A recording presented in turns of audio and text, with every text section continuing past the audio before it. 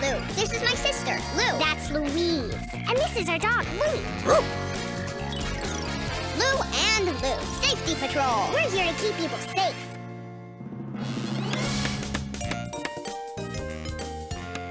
Water? Check. Soap? Check.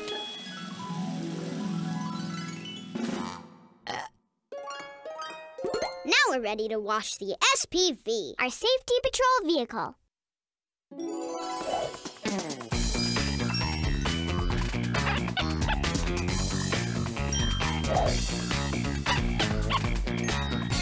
work, Lou. Thanks. Like I always say, a clean car is a safe car. Ouch! Hey, that's Dad. Sounds like he hurt himself. Can you help find the first aid kit?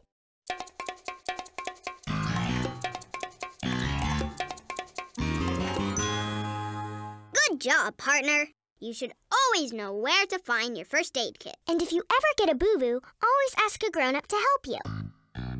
Dad, are you okay? Fine, kids. Just a little teensy boo boo. We brought the first aid kit. We can help. Thanks, Safety Patrol, but it's not that bad. First, press a clean paper towel on the boo-boo to stop any bleeding. It's just a little scrape, kids. That's all. Here's the gauze, Lou. See? It worked. He's okay. Oh boy, that's that's nice work, Safety Patrol. Where are we going? We've got to go clean the boo-boo. Oh, right.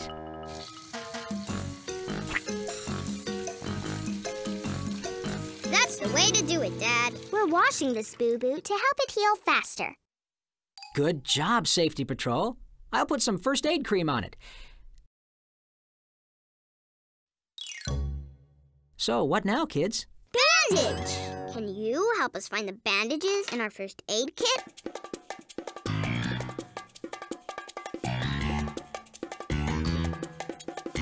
Nice going, partner. A bandage keeps a boo-boo. Or an owie, clean and safe.